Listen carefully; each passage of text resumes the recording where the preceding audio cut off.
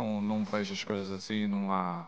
Rivalidade já, já foi, mas era uma rivalidade, rivalidade boa, uh, que os espectadores gostavam bastante, mas não é quem gosta do Cristiano não tem que odiar o, o, o Messi ou vice-versa, porque são os dois uh, bons ou muito bons, mudaram a história do futebol e continuam a mudar e somos respeitados em todo o mundo. Acho que isso é, é o mais importante. Uh, e, e, ele está a fazer o seu caminho, como eu faço o meu, independentemente de jogarmos fora da Europa.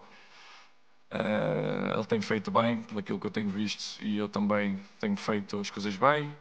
E a continuar. O legado continua, uh, mas a rivalidade não.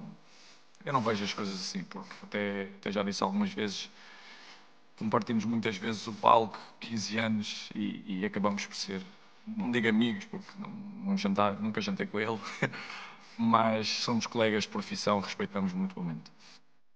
Cristiano Ronaldo recently shared his honest thoughts about the ongoing debate over who is the greatest of all time, GOAT, between him and Lionel Messi. For years, both Ronaldo and Messi have been competing at the highest level in European football each winning countless trophies and accolades. When Messi won the World Cup in Qatar two years ago, many people started to believe that Messi had finally settled the GOAT debate and secured his place as the greatest footballer ever. But Ronaldo's fans remain fiercely loyal to the five-time Ballon d'Or winner, believing he is still the best. When Ronaldo spoke about this debate, he didn't let the World Cup define his legacy. He said, even if I won the World Cup the debate would still go on. Some people like me more, some like me less. It's just like how some people prefer blondes, while others like brunettes. I've always had to prove myself year after year. Of course, I would love to win the World Cup. I'm ambitious. But even if I don't win any more tournaments, I would still be happy with everything I've achieved. My name will always be in the history books. But yes, having a World Cup on my shelf wouldn't be bad, it's a dream. Ronaldo knows that no matter what, his place in football history is secure. But like any great player, he still dreams of adding that final, ultimate trophy to his collection. So what do you think?